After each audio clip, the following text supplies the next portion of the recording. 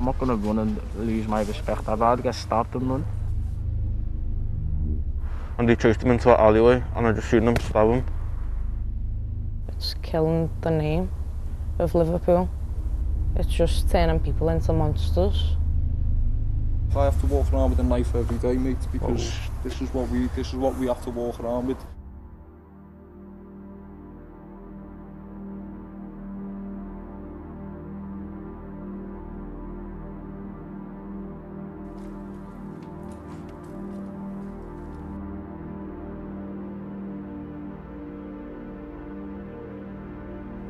Starts from, you know, selling a bit of weed to selling a bit of class A's, this, you know, it goes on and on. When did you start carrying knives? 12. Can't just see what you had? That's not a knife, that's... That me. Why do you carry that weapon? Because I live in fear of my life and as long as I've got this with me I feel safe. But that looks a bit more than self-defence to me. Scare tactics, the bigger the better.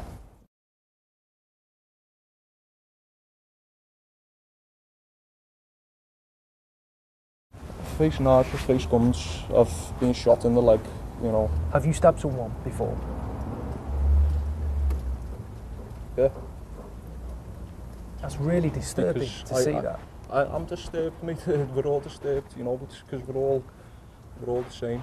We all grow up through the same shit, and no one breaks the cycle. It's hard around here. The cycle never breaks.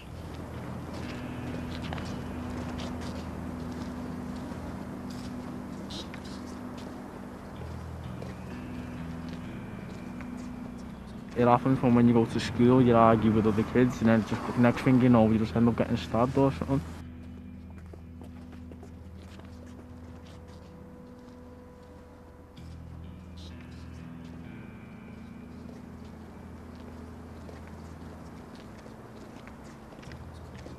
You'd have to roll with blades and that around here for they get that blades and that.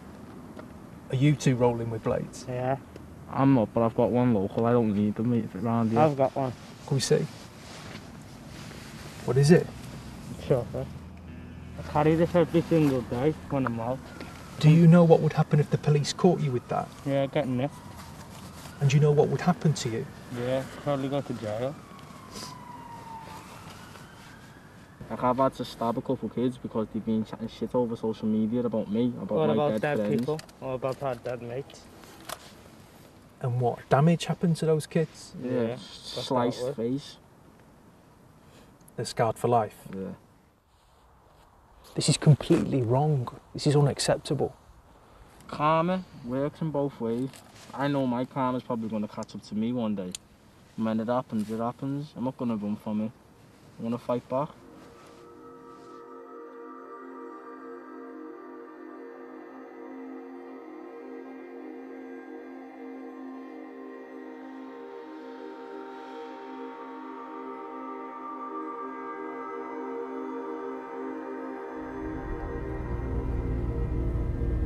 I could never walk these streets right here, right now, without having flashbacks, memories of some sort.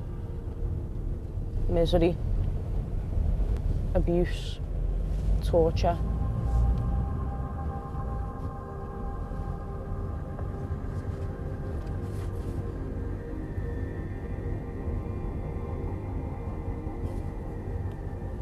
How many knives did you see on the streets here with the gang? Countless. Countless knives. hmm One of me boyfriend at the time's friends pulled up on the, at the car. A gang member. Yeah. Um, and said, I can take you to him. So I got in, because this went out of the ordinary. Um, so we proceeded to drive in silence, and then we approached the park, and he went into the park, into the car park, and proceeded to lock the doors of the car. So that at that instant I knew that I weren't going to see my supposed boyfriend. And then he proceeded to tell me to take my knickers down or I was getting it right here, right then.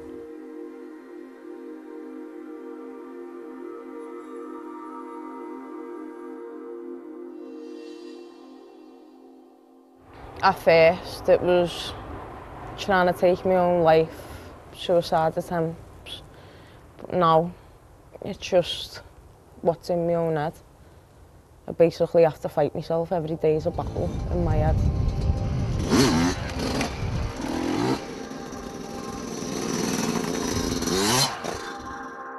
We have a something, especially in the north side city, postcode rivalry. You've got kids who won't go into the next street. I'm not talking about down to another part of the city. They will not go into the next street because they're scared of the gangs that are around there.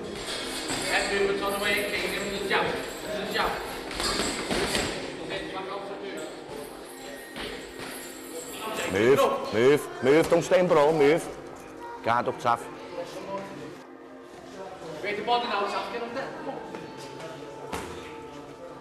It doesn't even make the news no more in Liverpool, if, unless it's a real bad case. But we know about it.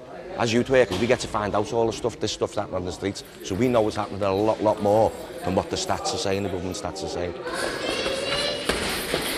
There's nothing worse than seeing young people die. These people who are in power should go and stand at a kid's graveyard and watch the other young people mourn. It's not a nice thing to do. It's not a nice thing to see.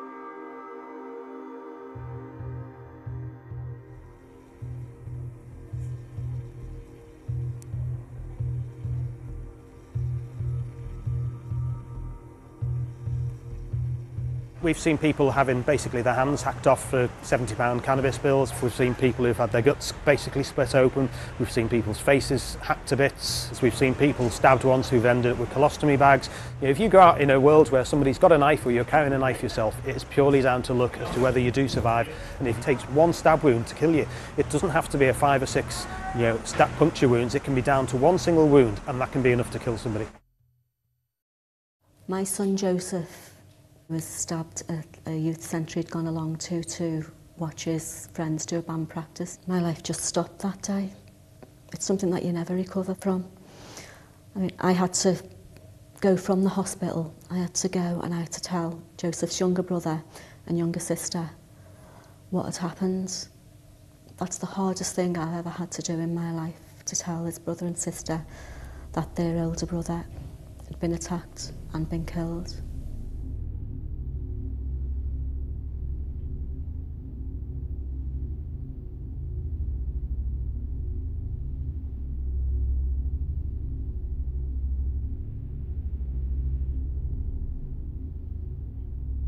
I was just starting to see glimpses of the man that he was going to become. He was just starting to mature. And unfortunately, all that stopped the day that this lad decided to go out with a knife.